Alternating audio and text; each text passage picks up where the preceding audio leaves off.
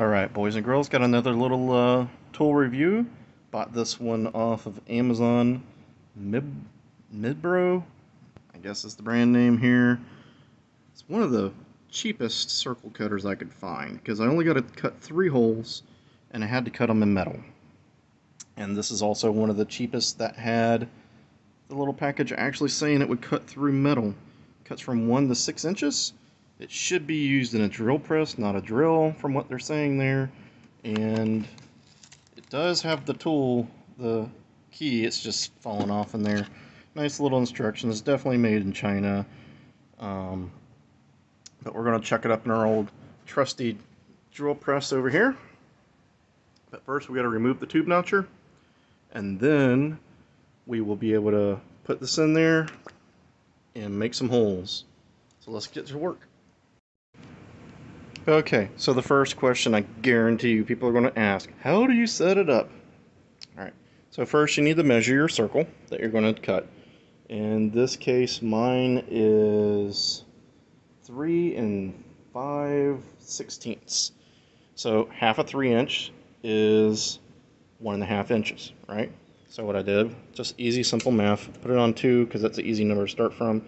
Go out an inch and a half, and then half of 530 seconds is 5, 5 sixteenths is 530 seconds. So from the half, I counted over 5 ticks.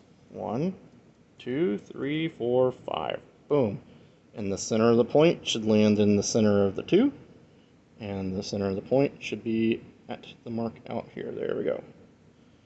Now, obviously, we loosen this bolt right here to move it along the, the line here, tighten the bolt to tighten it down, and you test a piece. Don't just go and cut the piece that you're going to use and cut a hole in there and find out, oh my god, it's too big. This is going to be fine-tuning stuff you're going to have to go back to.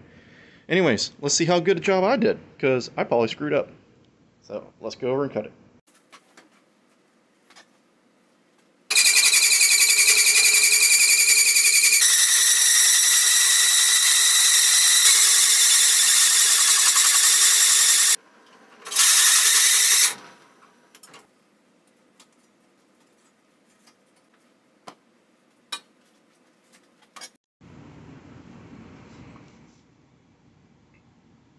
Not too bad. One thing I'd probably do a little different is instead of trying to cut all the way through from the one side, I'd probably stop next time and cut a little relief on the back side and that should make the hole a little more less tapered because it cuts out kind of a the way the cutter is set up it cuts out of taper a little bit and that little bend there is because I didn't cut all the way through right there and I just yanked it off. But works out pretty well. A little scary and terrifying when you use that thing. That thing's flying around there. And uh, definitely should probably have it strapped down instead of holding it like hand like I was doing. But you do what you do, you know.